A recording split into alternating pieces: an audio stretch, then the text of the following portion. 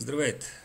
Аз съм Пламен Герганов и днес ще изтъкна известни факти относно разликата в а, начина на пеене при класическото и при народното пеене. Ще използвам една статия, която е сравнителен анализ, вокална постановка при класическо и народно пеене на Майя Бошева, преподавател от Пловдивския университет Паисий Хилендарски. Разбира се, няма да бъда пунктуален и да чета от до всичко. Линкът към статията ще бъде в описанието на клипа, но искам да разсея едни съмнения, че двата вида пеене били доста близки, едва ли не нямало значение с какъв вид постановка е отделният изпълнител, той може да вземе участие в различен вид състави, дали е състав за народно пеене или състав за класическо пеене. Звукоизличането при класическото, народното и по-пеене е различно, което обославя различната обагреност на вокалния звук. Защо започва с това изречение колежката Бошева? Ами защото са различни.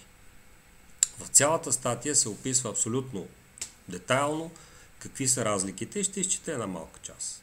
При народното пеене възпроизвеждането на звука е уникално с натурално гърлено открито пеене, с характерно еднорегистрово строение на гласовия диапазон. Благодарение на него не се налагат методически средства приеми за преодоляване на преходни тонове и преминаване в различни регистри. Звучността при народното пеене е единна по характер по целия певчески диапазон, обословена от гръдно-ларингсовия механичен принцип на звукообразуване при мъжете и от смесения при жените с преобладаване на гръдния. Основният ларингсов звук не претърпява особени изменения от акустичните явления, развиващи се в надларингсовата тръба, независимо от формирането на ниски, високи по височина тонове. Екстравокалният тембър, характерен за основният ларингсов звук, доминира при народното пеене. Поради ограничения гласов диапазон, съответстващ на теситурните изисквания на народната песен, не е правена класификация на народните гласове. Така, следва изключително точна, детайлна информация, която подкрепя това нещо. Ще посоча още едно издание, което препоръчвам да бъде изчетено от неверниците или хората, които просто така им е удобно да вярват. Това е методика на обучение по народното пеене на професор доктор Светла Калудова Станилова, началник катедра фолклор, народно пеене в Академия музикално танцово и изобразително изкуство град Пловдив. Мисля, че това е достатъчно. Продължавам нататъка с статията. Защо е нужно научно обяснение на това, за което сме запознати с просто ухо? Продължавам с класическата постановка. При съвременната класическа постановка има освояване функцията на гласовия резонатор, вдигане на мекото непце, поддържане вътрешна ширина, която по време на пеене остава непроменена. Тя се поддържа посредством правилно дишане. Позиция на лека прозявка дава нужните изисквания за вътрешна ширина. Научно това се обяснява така. Прикрепените мускули към езичната част, които повдигат ларингса, което е вредно за правилното пеене, са изключени. В същото време тези мускули, които се теглят надолу, имат предимство и надмощие. Така ларингсът получава нормално положение, т.е. избегнато е високото му положение и се оформя глътъчна ширина. Същевременно се следи за висока позиция горде, горе в твърдото непце, зад горните реси, за да се изнесе правилно тонът напред. Думата фалцет. Подчертавам, фалцет. В народното пеене фалцетът не съществува, той е забранен там. Защото няма как да се възпроизвежда народна песен с фалцет произхожда от италианската дума фаосо, която означава лъжлив, т.е. фалцетът е лъжлив тон. Това са неестествени високи тонове, които се възпроизвеждат последния механичен принцип. Първа особеност, че гласните връзки не са плътно прилепнали една към друга. Те са приближени така, че между двата им края се образува вретенообразен отвор. Втората особеност е, че не трептят с цялата си дебелина, само с тънките си крайни части. Третата особеност е, че при трептенето на тези тънки части от гласните връзки Черпаловидните хрущяли не взимат участие в зависимост от височината на тона трептящите части на гласните връзки се скъсяват от към черпаловидните хрущяли чрез прилепването им. При класическият стил преобладава фалцетно звучене. Подчертавам, при класическия стил на пеене преобладава фалцетно звучене. При народното пеене фалцетно пеене не съществува.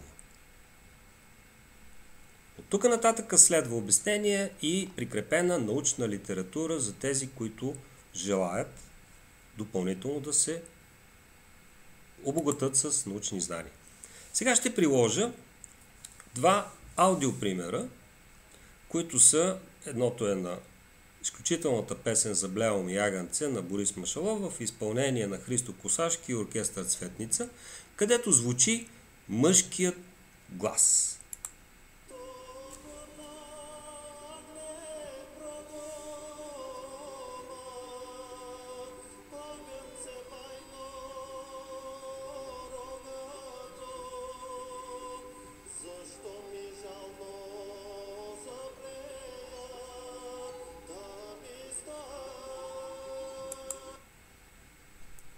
Това е отговор на въпроса какво е народното пеене.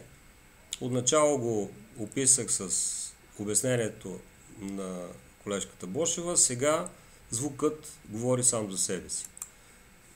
Тук съм намерил пример на вокален ансамбъл, които изпълняват класическата песен О будители народни –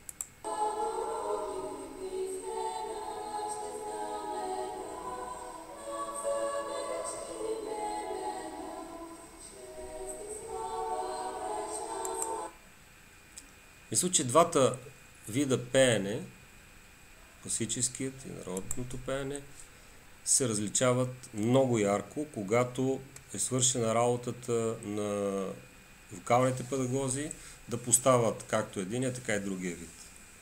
В завършек на сравнителния анализ, който и аз се опитах да направя и доводите, които да извада, е, че при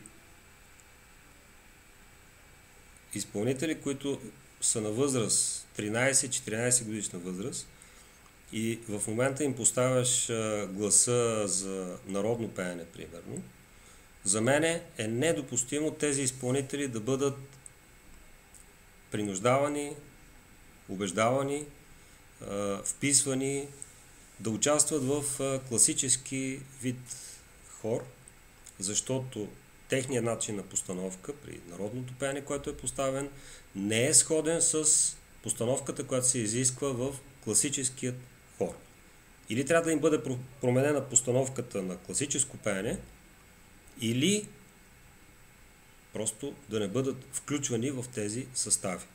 Тези, които не искат да го разберат това нещо, ще загубят желанието на тези изпълнители, на тази възраст, за която говоря, 13-14 годишна възраст, за какъвто и да било вид пеене.